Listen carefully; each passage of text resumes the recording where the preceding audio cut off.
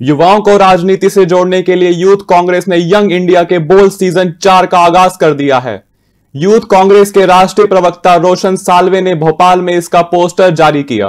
कांग्रेस कार्यालय में युवा प्रवक्ताओं के चयन के लिए यंग इंडिया के बोल पोस्टर का विमोचन किया गया। इस प्रतियोगिता से चयन किए गए युवाओं को जिला व राज्य स्तर पर प्रवक्ता पद के रूप में नियुक्त किया जाएगा। इस मौके पर यूथ कांग्रेस के नेताओं ने कहा कि कांग्रेस पार्टी हर स्तर पर देश के युवाओं को अवसर दे रही है। यंग इंडिया के बोल के ज़रिए देश की युवा आवाज़ को एक राजनीतिक मंच मिलेगा, जिसके ज़रिए वह लोकतांत्रिक तरीके से अपनी बात रख सकेंगे।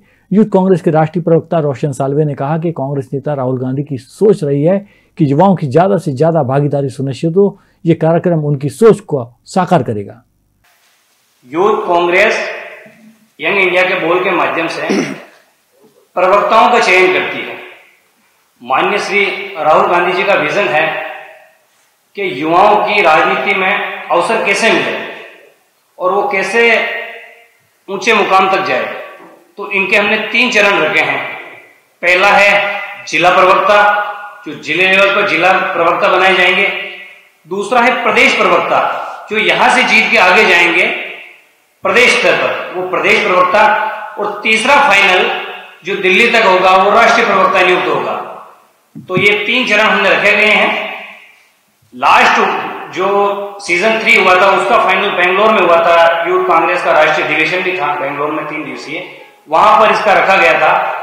और इस बार देखिए कहा रखती है पार्टी, जो आगे से गाइडलाइन देगी इसमें फॉर्म के माध्यम से ऑनलाइन लिंक दिया है। उस पर आप स्टेट का नाम और मोबाइल नंबर इसमें डालेंगे। तो वो फॉर्म पूरा हो जाएगा।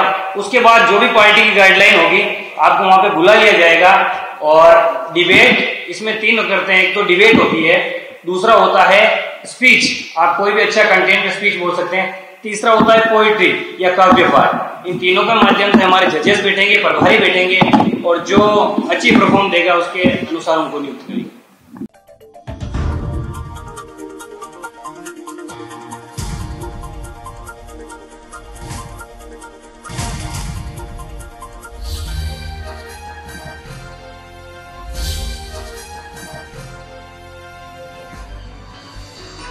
आप देख रहे हैं दखल न्यूज़।